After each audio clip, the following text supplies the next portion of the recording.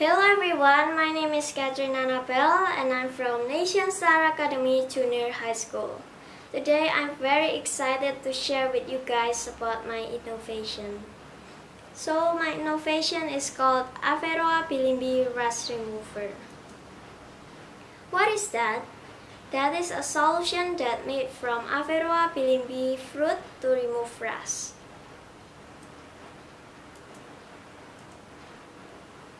So outside there, there are so many Averrhoa bilimbi that are not eaten because of their very sour taste. If not eaten, the fruit becomes rotten and is wasted over time. Like in this picture. Therefore, the researcher used the acidity of this fruit to remove rust on iron, knife, cutter, and many more.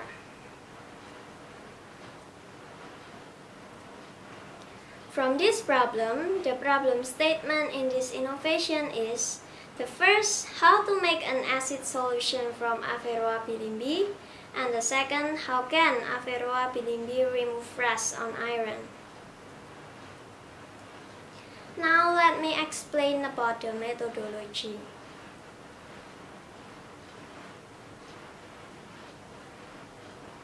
To make Averrhoa bilimbi solution, it only needs a very simple tools and materials.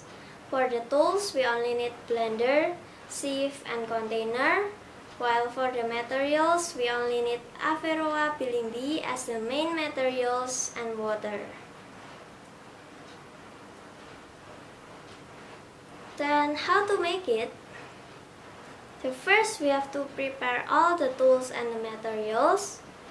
Then the second, we have to put all of the materials, which are Averrhoa, bilimbi, and water into the blender. Then we have to blend everything until mixed well. And the last step is we have to filter the solution, so that the dregs will not mix with the solution. If you want to make 280 milliliters of Averrhoa bilimbi solution, you need 200 grams of Averrhoa bilimbi and 40 milliliters of water.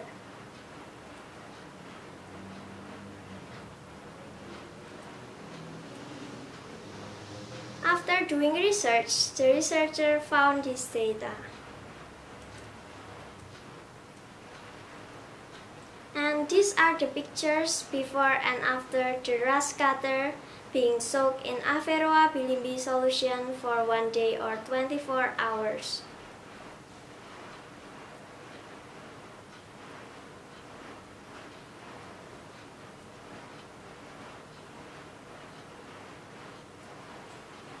Then how about the conclusion? So Averrhoa bilimbi contains many substances and one of them is citric acid which makes this fruit has a high acidity to remove rust in materials such as in metal.